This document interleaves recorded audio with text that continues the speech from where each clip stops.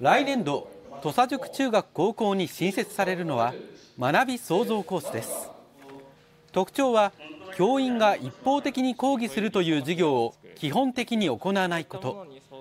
自学自走をモットーに中高6年間で一人一人が興味や関心に応じた学習を進め課題を解決する力をつけることが狙いです。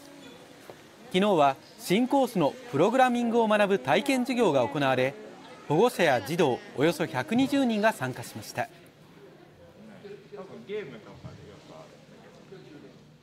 のまま持って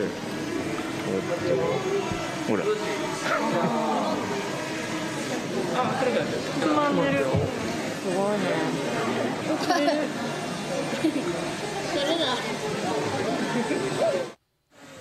子どもたちは仮想現実 VR や拡張現実 AR とはどういうものなのかを体験していました。生まれている最新のテクノロジーやアイデアは何かそれを実際に学ぶ。これが学び創造コース。実際の授業ではこのような VR や AR を自分でデザインするほかドローンで撮影した映像を編集します。また参加者は学生寮を改修した新コース専用の教室や青空教室として使われるテラスを見学しました。自分がしたいことを言ったら自分は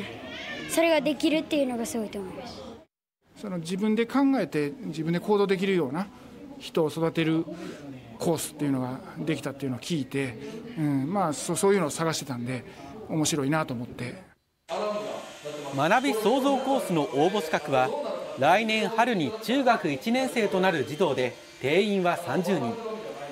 県内初となるオンライン入試を実施し自分で作る自己 PR 動画とオンライン面接で入学者を決める予定です。